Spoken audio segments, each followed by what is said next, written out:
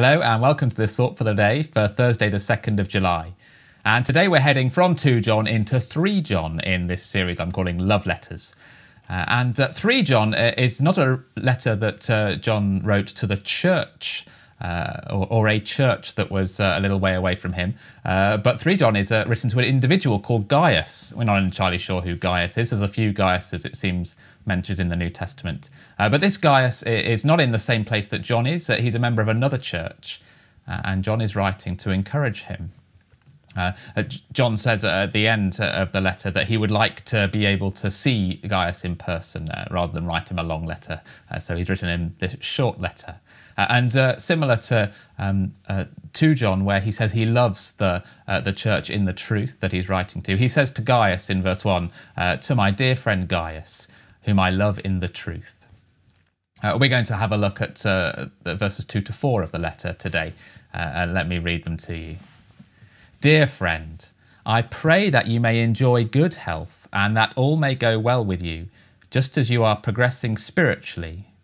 It gave me great joy when some believers came and testified about your faithfulness to the truth, telling how you continue to walk in it. I have no greater joy than to hear that my children are walking in the truth. Uh, so, um, uh, in verse two of this uh, of this letter, we see uh, that uh, John says, I pray that you have good health, uh, talking about physical health. Uh, but he also uh, uh, says that I know you're progressing well spiritually. He talks about his spiritual health. Um, uh, when it comes to physical health, standing still is a good thing. You, you, we, we, we, mostly with our health, we don't want to deteriorate. the fewer trips we have to make to the doctors, the better. we'd rather not see the doctor. but um, uh, here uh, the elder speaks to Gaius and says that he's progressing spiritually.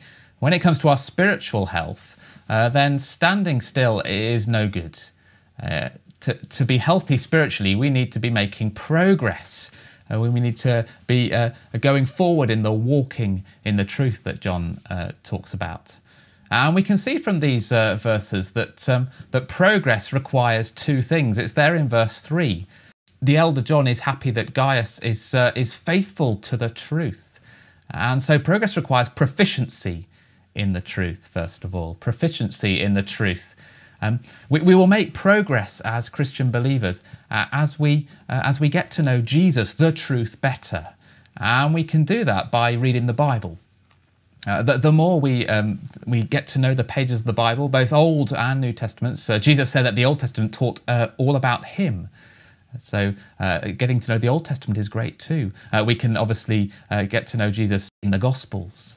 Uh, and uh, the apostles wrote letters to churches uh, so that we could get to know Jesus as well. And the more that we get to know the pages of the Bible, then the more progress we can make in the Christian life. Um, some of us find it quite easy to open the pages of the Bible and and work out what it means on our own. But uh, uh, for others of us, uh, uh then it's quite helpful to have some help. And um, uh, these explore notes are one example of Bible reading notes that make it quite easy. If you type explore Bible reading notes into Google, then you'll find them. I think this is from the Good Book Company, which are a good place to get them from. Uh, they give you a, a, little bit of the Bible uh, each day, a short amount, and some questions to help you think about it. Uh, so if you're not used to reading the Bible, then this is a really good way to, to get into the habit of it. Uh, most people find that reading the Bible every day uh, is a good way to get to know it better and to make progress. Uh, secondly, we can see in verse 3 um, that the elder is happy that Gaius is walking in the truth. It, so progress requires proficiency, but it also requires practice. Um, uh, we, we need to practice walking in the truth. We need to practice doing what the Bible says. Uh, we need to practice obeying Jesus' word. Uh, just as to uh, uh, be able to get your, your golf game going well, you have to practice your putting. Uh, or skateboarders clearly need to practice their tricks. And I, I learned the violin when I was younger. Um, I'm not so good at it anymore because I've stopped practicing. Uh, we need to practice if we're going to make progress. Um, and um, uh, towards the end of uh, 3 John, uh, the elder talks about another way that we can help ourselves uh, walk in the truth, and that's to imitate others. Um, just as a boy would imitate his father to learn how to shave. Um, because in verse 11, uh, uh, the elder writes to Gaius, Dear friend, do not imitate what is evil, but what is good. Anyone who does what is good is from God, and anyone who does what is evil has not seen God.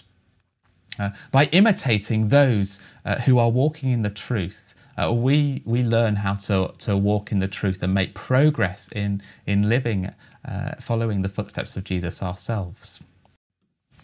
And, and the elder says to Gaius um, that it gives him great joy to hear these reports that other Christians have brought back to him that Gaius is making progress in the Christian life. Um, it, gives him no greater joy, he says in verse 4, to than to know that his children are walking in the truth. Um, and John is an apostle. He speaks with Jesus' voice. And so um, Jesus is delighted. It gives joy to Jesus when we make progress in our Christian life.